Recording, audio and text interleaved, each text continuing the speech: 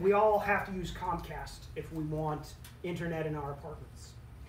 So if you were to have internet in your apartment, what happens is you take a coaxial, you know, the standard TV cable, and then it runs into a box called a modem.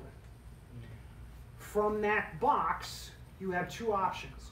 You can either plug what's called an Ethernet cable. It basically looks like a fat phone cable. Um, and you can plug that into a computer. Um, and it's connected to the internet. So you would call that internet enabled. You can also connect to that modem, that box, wirelessly using radio waves. That is what Wi-Fi is.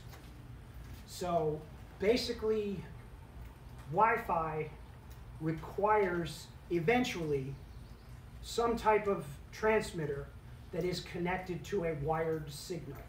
Um, like that is the wireless router. That white box up there with the green light on it, that is the wireless router that will provide Wi-Fi for this room.